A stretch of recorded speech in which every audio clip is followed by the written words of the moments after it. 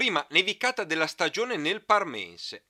La scorsa notte i fiocchi bianchi sono scesi sul nostro Appennino, nella zona del Monte Caio, a Prato Spilla e al Lago Santo.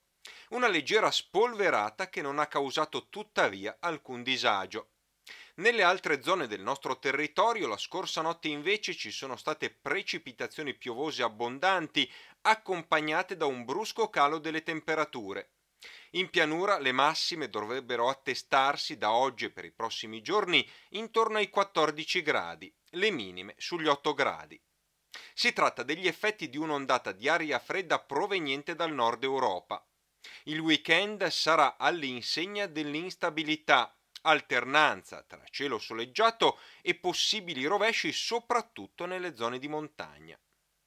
Secondo gli esperti, a differenza di quanto accaduto lo scorso anno, la stagione autunno-inverno 2015-2016 sarà particolarmente rigida.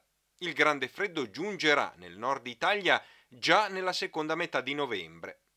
Il picco del freddo con nevicate anche consistenti lo dovremo toccare durante le ultime settimane di dicembre, anche se nuove incursioni di aria polare sono previste pure durante i mesi di gennaio e febbraio.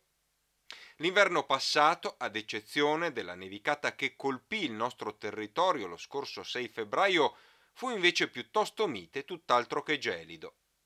Per quanto riguarda gli impianti di riscaldamento, già dal 2 ottobre il sindaco di Parma Federico Pizzarotti aveva dato il via libera all'accensione, anticipando dunque i tempi rispetto alla data del 15 ottobre prevista dal regolamento nazionale.